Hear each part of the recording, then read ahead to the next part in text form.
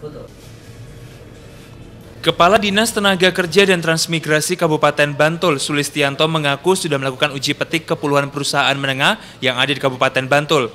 Hasilnya perusahaan-perusahaan tersebut sudah membayarkan THR kepada para karyawannya.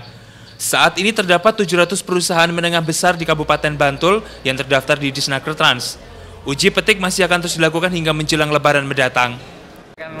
Dari sekitar 700 perusahaan kita kan sudah uji kita pantau yang menengah besar itu sudah, sudah kita datangi 67 nah dari 67 itu yang 65 ketika kita datangi sudah diserahkan.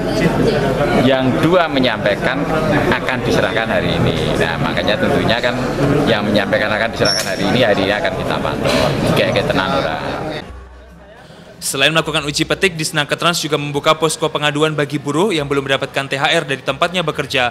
Posko akan dibuka setiap hari hingga 16 Juni mendatang. Sejauh ini belum ada perusahaan yang mengajukan penangguhan pembayaran THR kepada karyawannya, sehingga Sulis optimis permasalahan THR di Bantul tidak akan terjadi.